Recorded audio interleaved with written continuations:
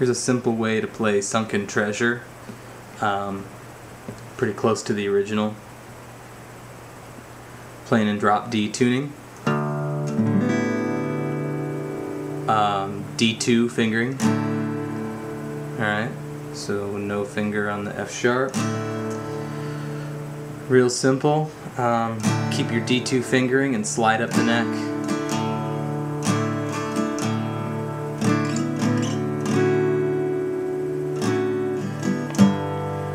Alright, for this next chord here, we just play uh, 5th fret for the B, 7th fret for the G, and here's the kicker.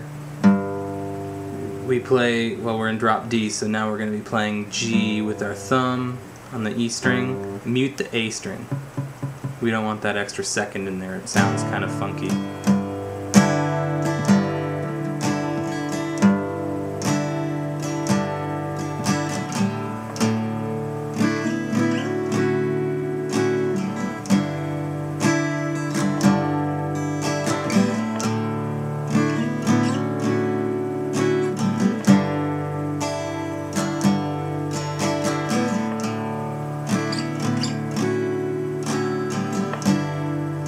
Alright, and for our G, F sharp, E walk down, um, we're just going to bar them. Just like that.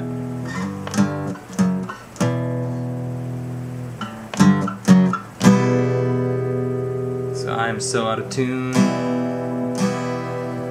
Back to the D.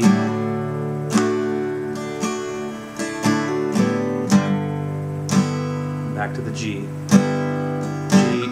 Sharp. I am so out of tune with you.